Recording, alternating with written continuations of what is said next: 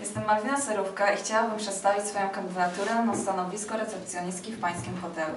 Jestem osobą inteligentną, uczę się dwóch języków, angielskiego i niemieckiego i jestem biegła w mowie oraz piśmie.